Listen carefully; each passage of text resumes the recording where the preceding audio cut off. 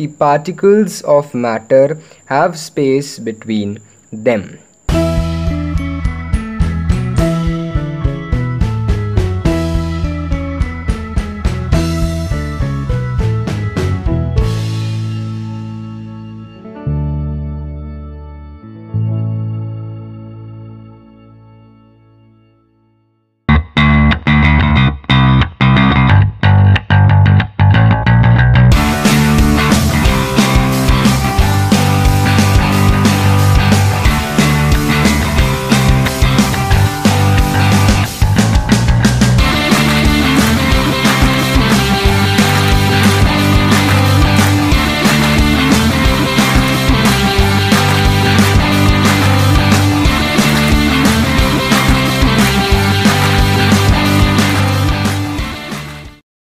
Hi guys कैसे हो आप सब? मैं हूँ आपका होस्ट और दोस्त ईशान महेश्वरी और आप सभी का स्वागत है मेरे YouTube channel E M mathematics पर।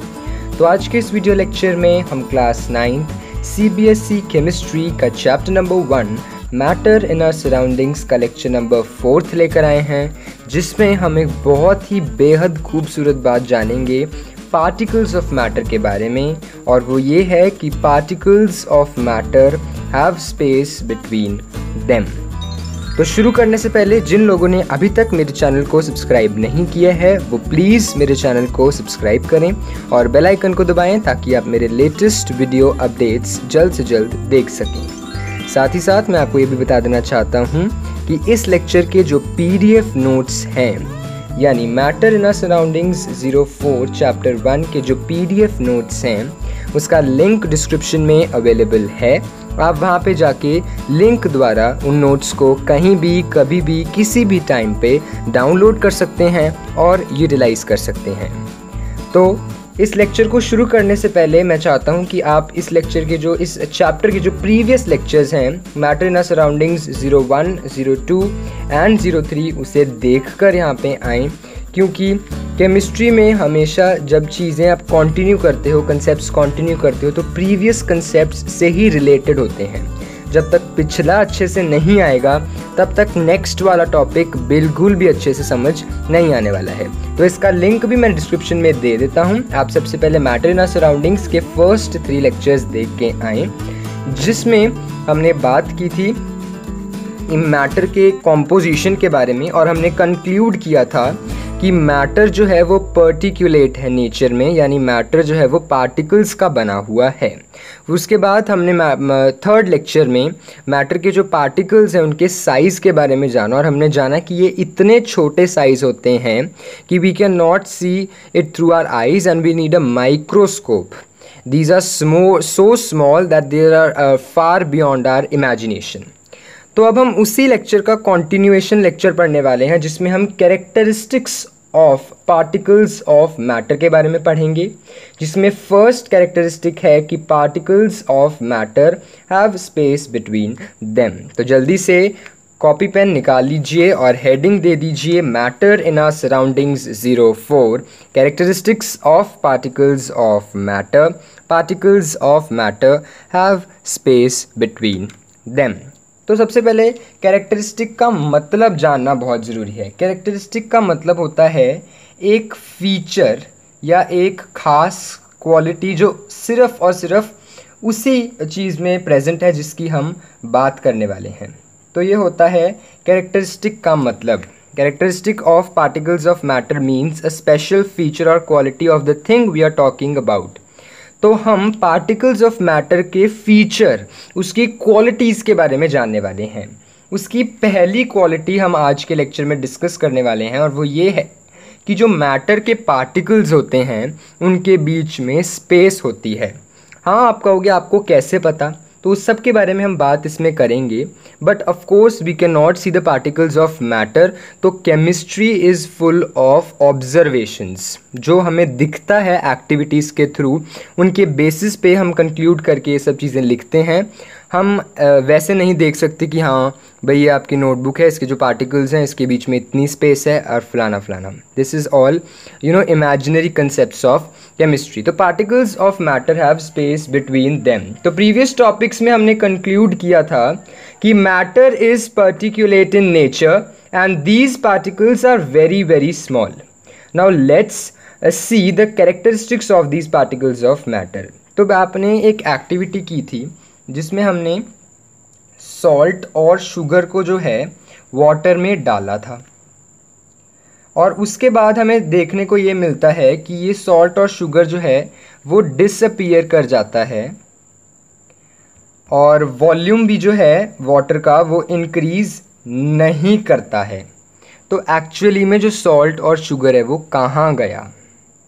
एक्चुअली में जो सॉल्ट और शुगर है, वो कहाँ गया? दूसरा एग्ज़ाम्पल हम एक और ले लेते हैं। फॉर एग्ज़ाम्पल जब आप बनाते हो लेमनेड तो लेमनेड में आप जब लेमन डालते हो वाटर के अंदर तो लेमन जो है वो डिसअपियर कर जाता है।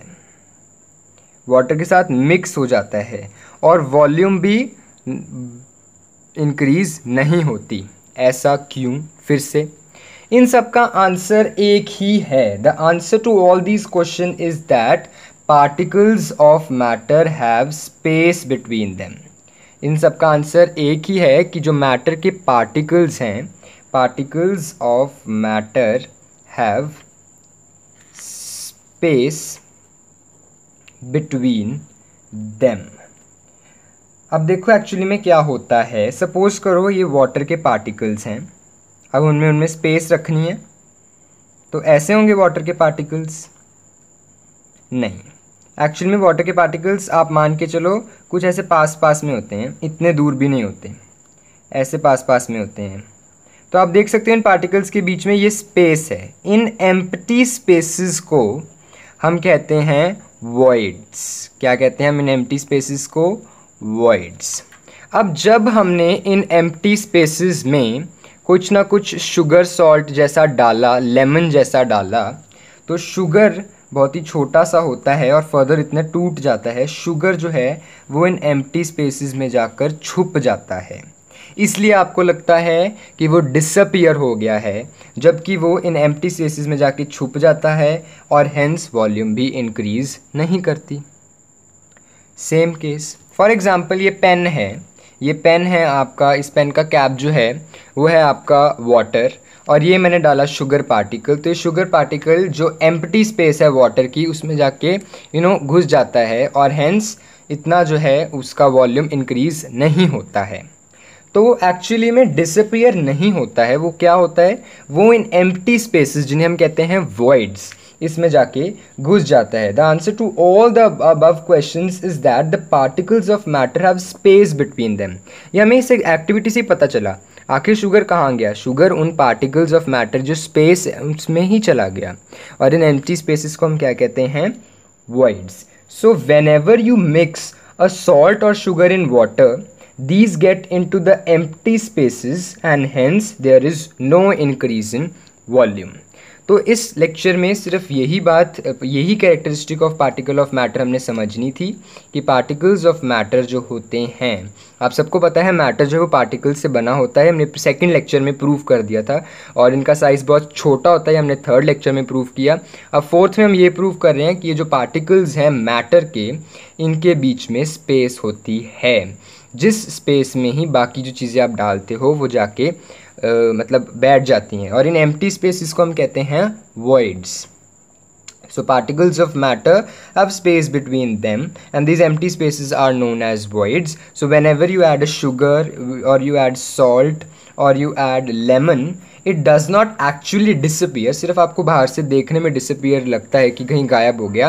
एक्चुअली में वो कहीं भी गायब नहीं होता है, बल्कि जो एम्पटी स्पेस होते हैं पार्टिकल्स ऑफ़ मैटर के, उसमें जाके घुस के बैठ जाता है। इसलिए ना ही तो वॉल्यूम इंक्रीज होता है और ना ही हमें जो सॉल्ट शुगर या लेमनेड है, दिखता है। तो इस लेक्चर में हम यही characteristic of particles of matter पढ़ेंगे। नेक्स्ट लेक्चर में हम पढ़ने वाले हैं कि particles of matter are continuously moving ये भी एक दूसरी कैरेक्टरिस्टिक है पार्टिकल्स ऑफ़ मैटर की and total three characteristics we have to study so आज के लेक्चर में बस इतना ही। अगर आपको ये वीडियो पसंद आई तो इस वीडियो को लाइक करें शेयर करें अपने फ्रेंड्स फेलोमेट्स और क्लासमेट्स के बीच में। और अगर कोई भी डाउट है इस वीडियो के रिगार्डिंग या इस टॉपिक के रिगार्डिंग सो प्लीज़ उसे कमेंट सेक्शन में ज़रूर मैंशन करें। साथ ही साथ आपने अगर अभी तक मेरे चैनल को सब्सक्राइब नहीं किया है तो प्लीज़ मेरे चैनल को सब्सक्राइब करें और बेल आइकन को दबाएँ ताकि आप मेरे लेटेस्ट वीडियो अपडेट्स जल्द से जल्द देख सकें। एक बार फिर से याद दिला दूँ तो इस लेक्चर के जो पीडीएफ नोट्स हैं, यानी ए टू जेड जो भी मैंने अभी आपको समझाया रफ तरीके से सिर्फ़ समझाने के लिए था, वो एकदम नीट एंड क्लियर फॉर्म में जो है लिखा हुआ है उन पीडीएफ नोट्स में तो आप जाएँ डिस्क्रिप्शन में और उस लिंक द्वारा उन पीडीएफ नोट्स को डाउनलोड करके यूटिलाइज करें। So that's all for today thank you and have a very nice day ahead